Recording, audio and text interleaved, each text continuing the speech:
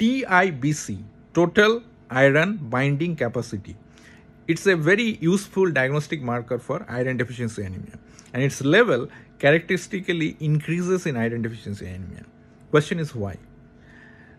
I would connect two concepts to explain this. Number one concept is this that in iron deficiency anemia, as the body is deficient of iron, body starts making extra amount of excess amount of transferrin molecule which is an iron carrier molecule or transport molecule.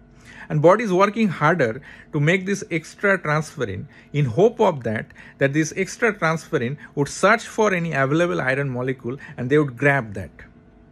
So they are like a pack of hunting wolves who would search for extra iron. Now TIBC is nothing but an indirect measurement of this transferrin level so as the transferrin level increases in iron deficiency anemia, TIBC level also increases for this reason.